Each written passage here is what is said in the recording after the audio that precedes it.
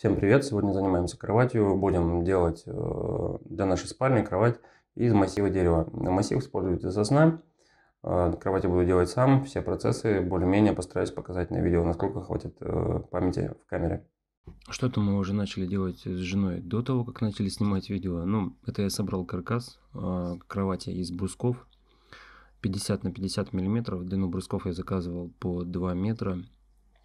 А, Все это было у меня в том же самом количестве стройматериала, который я заказывал и для шкафа, в принципе, и для кровати это будет использоваться, и для кухни это будет использоваться. Плюс там еще собираемся сделать полки некоторые. А стоимость общая пиломатериала где-то вышла мне с доставкой 5600 рублей. Ну, вроде бы как относительно недорого, мне так кажется.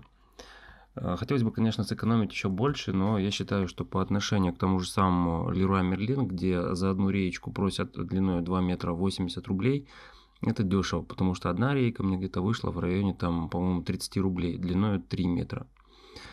Э, на перекосины я ставил рейки, потому что кровать шаталась, как сделать ее прочной, я просто-напросто не знал. Поэтому я использовал рейки для усиления конструкции, чтобы она не болталась ни вперед, ни назад. По итогу мне пришлось докручивать э, саморезы еще на два раза в каждый угол, потому что э, кровать, она все равно болталась после того, как она усохла. Я думал, что материал подсох, но оказалось, что он не очень был высохший, и пришлось докручивать, в общем, снова все. Э, главная мысль была о том, как усилить центральную часть конструкции, как ее сделать. По итогу у меня закончилась память, и сейчас вы видите уже саму кровать в состоянии почти готовой. Постараюсь сейчас рассказать, как я что делал, чтобы было понятнее и нагляднее. Ну вот с правой стороны видно наш шкаф, который я почти доделал. Это будет шкаф-стеллаж. Как получится по итогу сделать, не знаю, но в голове очень красивая картинка. Сейчас постараюсь показать сам образ будущего шкафа. Увидите его с правой стороны. Теперь э, сама кровать. Изголовье сделал также из доски, сплошную делать не хотел, потому что как-то было неинтересно. Вот эти те самые укосины, которые я ставил.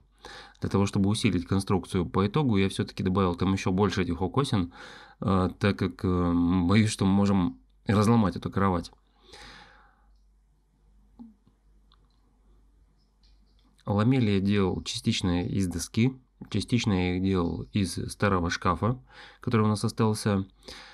А, старый шкаф я также использовал для того, чтобы сделать ящики, потому что от доски это было бы слишком большой расход, а, в принципе там не видно было бы, что там снизу находится, поэтому я использовал дверцы старого шкафа.